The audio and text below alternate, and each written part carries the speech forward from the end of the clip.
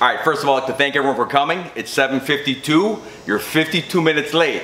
Look, last week I had a worker text me if he could come in at 8 o'clock. I said okay. I texted him back 10.4. He showed up at 10 o'clock. I explained to him that 10.4 meant yes, okay, you can show up at 8 and that I expected him two hours ago. Do you know what he said to me? Does that mean I can't go home at 4?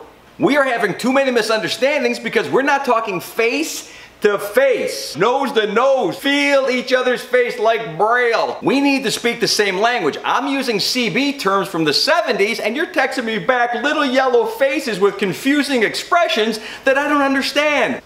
By the way, CB language, everybody. Trucker slang. 10-4, good buddies. You never watch Smokey and the Bandit. 420? I knew you'd get that one. Look, if you're confused and you have to ask me a question like, what did you mean we have to stay late? Don't text me. Walk three feet. I'm standing right there. There is no need for virtual miscommunication. I get it. Nobody wants to work late, but texting me a sad face with a single tear running from one eye down the cheek in the shape of poop ain't gonna get you out any earlier. Look, if you're sad or mad that you gotta work late, talk to me face to face. Or do what Big Frank the plumber does to me because he's old and he doesn't know how to text.